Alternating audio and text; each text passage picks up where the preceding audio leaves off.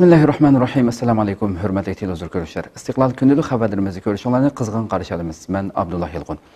Proqramımızda vətənimiz Şərq Türkistan və dünyada olub atqan gün tərtibdəki xəbərlərini huzurunuza sunuşdurışımız. Qənəm sizə qıtanlar ekranımızı olsun.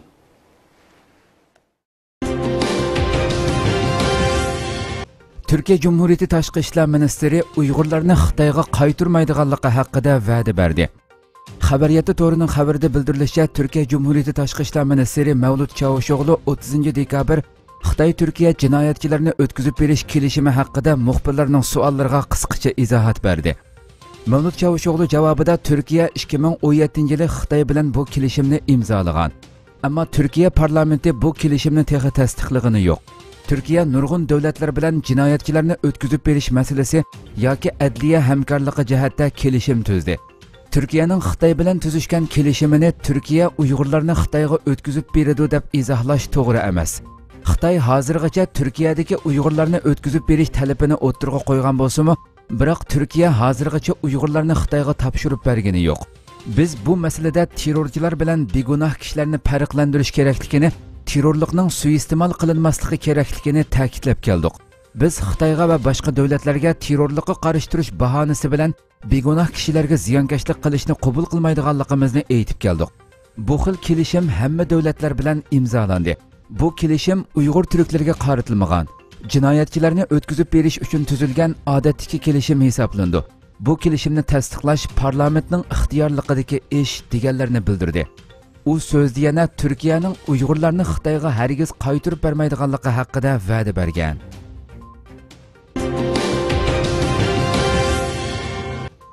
Xitoy bosh konsuli vaksinaning xitoyda cheklanganligini e'tirof qildi. Milliyat gazetining 30 dekabrdagi xabarda bildirilishicha xitoyning istanbuldagi bosh konsuli suyvey xitoy turkiyaga sotgan vaksinaning xitoyda cheklanganligini e'tirof qilgan. Xabarda qayd qilinishicha suyvey turkiyaning bir naq maydon programmasida turkiya buyurtgan xitoy vaksinasining texi uchinchi sinaq bosqichida ekanligini bu vaksinaning xitoyda ishiltilishi cheklanganligini bildirgan. Suyvey so'zida uchinchi bosqichliq vaksinini işiltiş qonuniy jihatdan texi ruxsat qilinmadi. Shunga bu vaksina xitoydami ishiltilmadi ammo xitoyda ma'lum qonuniy rasmiyatlardan keyin 3-bosqichdagi vaksinalarning intayin cheklik rayonlardagi jiddiy ahvollarda ishiltilishiga ruxsat qilindi degan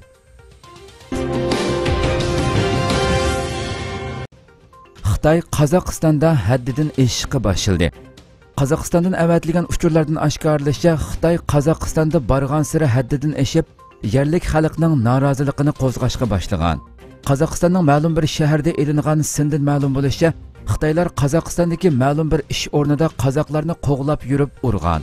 Atrofda qarab turgan qozoq ishchilarmi orig'i tushishga petinolmagan ismini oshkorlashni xohlamagan bir kishi ziyoratimizni qabul qilib xitoyga nisbatan qozog'istondagi uyg'ur qozoq o'zbek qatorliq millatlar qushxonadagi qo'ylardek bo'lib qoldi xolisi uridi xolisi kamistidi bu haqda hukumatga shikoyat qilsak shikoyatimizni anglig'ili odam topqili bo'lmaydi deganlarni bildirdi. Ma'lum bo'lishicha yaqinqi mazgillarda qozog'istondagi xitoy ko'p shaharlarda bo'libmi xitoy qurgan zavod korxonalarda qozoqlarni kamistadigan uradigan ahvollar ko'payishga boshlagan. Yaqinqi yillarda xitoyning kengaymichilik qora niyati qozog'iston qirg'iziston tojikiston qatorliq turk jumhuriyatlarida o'z ifodasini ko'rsatishga boshlagan bo'lib xitoylar turlik yozmalari bilan turkiy millatlarga qilayotgan kamsitish qilmishlari orqali kengaymichilik siyosatidan shapi berishga boshlagan. Bu yilning beshida xitoy to'rbatlarida qozoqlar nima uchun vatan qo'yniga qaytmaydi degandek yozmalar qozog'istonda bir mazgil g'ulg'uli qo'zg'agan edi. Majburiy amgakka solg'uvchi xitoy kiyimlarni yevropaga eksport qilganligini bildirdi. Bugun ijtimoiy taratqularda tarqalgan bir sin sharqi turkistondagi xitoy zavodlarida tikilgan kiyim kechaklarning yevropaga eksport qilinadiganligini oshkorlab berdi. Mazkur sinda zavodning xitoy xo'jayini bu zavodda 200 dan ko'p ayolning ishlaydiganligini zavod qurilg'ili ikki yarim yil bo'lganligini va bu zavodda tikilgan kiyim kechaklarning yevropaga eksport qilinadiganligini bildirgan. Singa asoslanganda bu zavodda kasbiy formalar tikildigan bo'lib ishlayotganlarning hammasi uyg'ur ayollari ekan. Uyg'ur ayollarining bir qismi 2014 yildan buyon boshlangan kang ko'lamli tutqunda erlaridan qarindoshlaridan ayrilgandan keyin oilasining yukini o'z ustiga elib tuvan maosh bilan xitoy zavodlarida ishlashga majbur bo'lsa yana bir qism qiz ayollar jazo lageriga qamalganligi sababli majburiy amgakka silinib qul o'rnida ishlatilmoqda.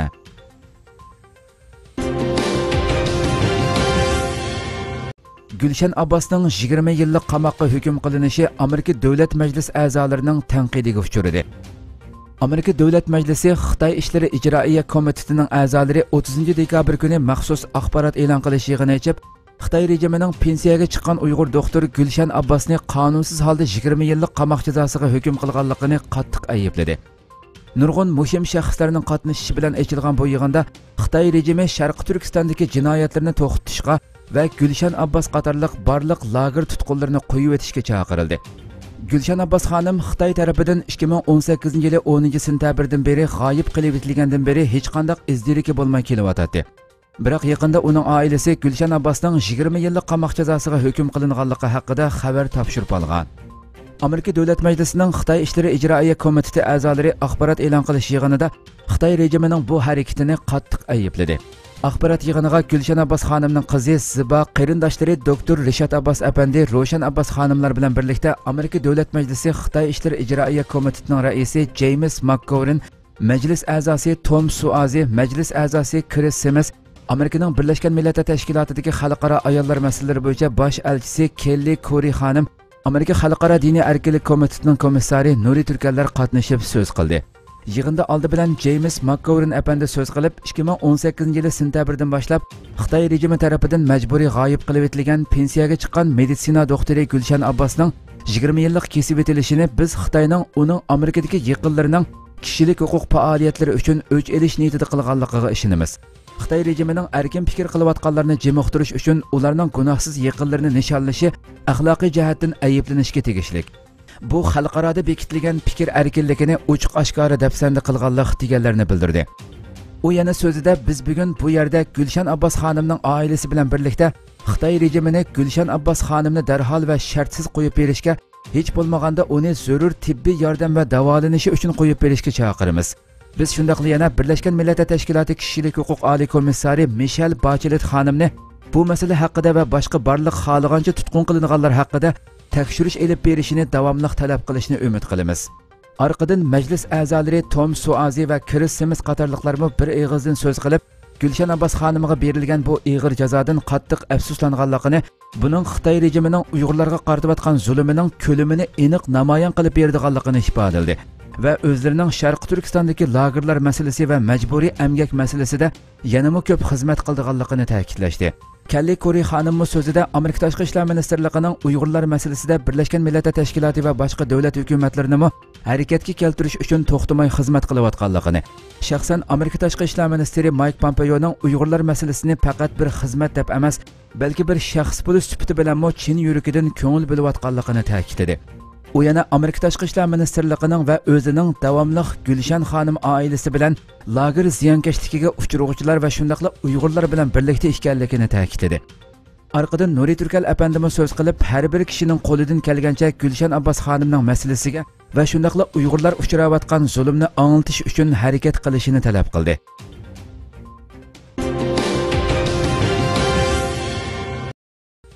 Xitoy o'qituvchining uyg'ur o'quvchini urish voqeasi haqidagi tafsilotlar oshkorlandi.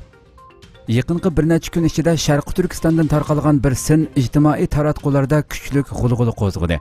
Mazkur sinda bir xitoy o'qituvchining bir uyg'ur o'quvchini to'xtamay urayotgan ko'rinishi ko'rsatilgan bo'lib xitoy o'qituvchi uyg'ur o'quvchining chechidan tortib to'xtamay kachatlagan va tepgan.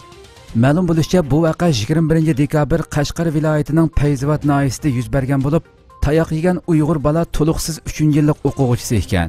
Bu voqeani sinfdagi bir o'quvchi yoshirin singa elib olgan. Mazkur sin xitoyning mikroblogida ko'p tarqalgan bo'lib yozilgan inkoslarda biraylan qo'shnisining boshlang'ich to'rtinchi yilligida o'qiydigan qiziningmi xitoy muallimi tarafidan qattiq urilib qo'liqidan qon chiqib ketganligini keyin ota onasi qizni davolatib ozroq yaxshilanish bo'lganligini ammo qiz maktabga qaytib kelgandan keyin doktorxonadagi kunlarda ishlayolmagan topshiriqi sababli muallimi uning tushlik tomoq yeyishiga ruxsat qilmaganligini umi yetmagandek qizni tozalik qildirganligi sababli quliqi ig'ir yallig'lanib ketganligini amdilikda tayoq yegan quliqining anglamas bo'lib qolganligini ota onasining hech nima qilolmaganligini yozgan.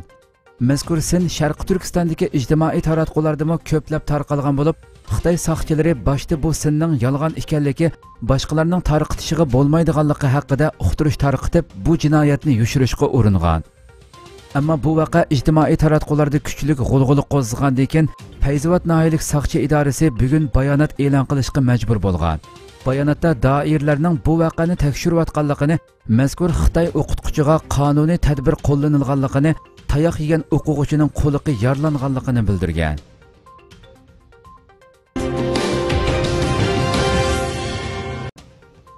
Xalqaroliq mahmud qashqari hikoya yozish musobaqasining mukofotlari tarqitildi buyuk olimimiz mahmud qashqariyning qashqar opaldagi haykali xitoylar tarafidan elib tashlangan bugungi kunda xalqaroliq mahmud qashqariy hikoya yozish musobaqasida natijaga erishganlarga mukofot tarqitildi bu yil oltinchi qitimliqi o'tkazilgan bu musobaqaga turkiya ozarbayjon balqon boshqurtiston uyg'ur moldoviya gagavuzlari iroq Iran, afg'oniston va o'rta osiyo turk jumhuriyatlaridan bo'lib ko'p sonda kishi qatnashgan edi.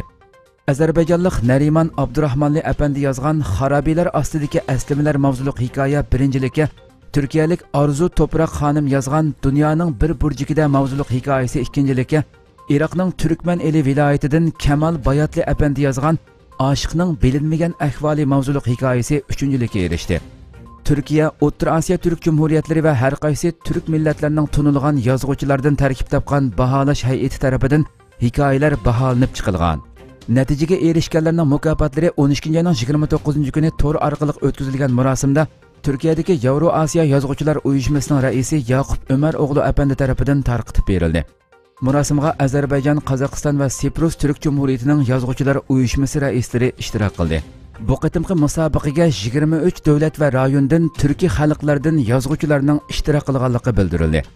Birlashgan millatlar tashkiloti pan maarif va madaniyat komiteti 2008 yilini mahmud qashqari yili deb e'lon qilgandan keyin turkiya yevro osiyo yozuvchilar jamiyati xalqaroliq mahmud qashqari hikoya yozish musobaqasini ta'sis qilib 2 yilda bir qatim bu musobaqani o'tkazib kelmoqda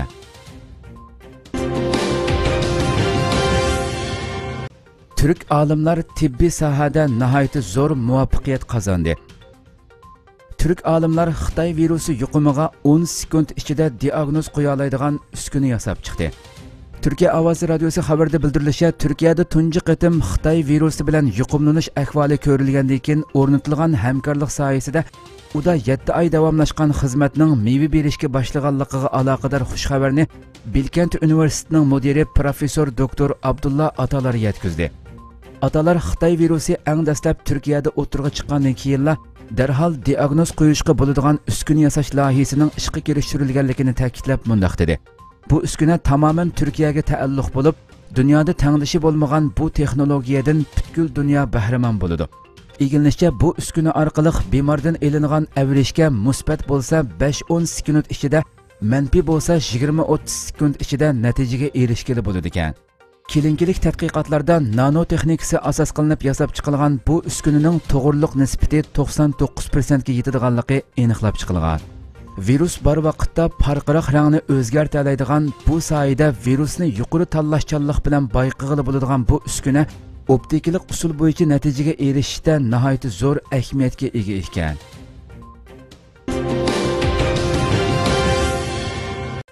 Xitoy amerikani tayvandagi mustaqillikni qo'llaydiganlarga xato signal berdi deb aybladi xitoy amerikaning tayvan bo'g'ozidan ikki yetakchi boshqariladigan bomba qo'g'lug'uchi paraxotini o'tkazishi orqali tayvanning mustaqilligini qo'llaydigan bo'lgunchilarga xato signal berganligini e'lon qildi.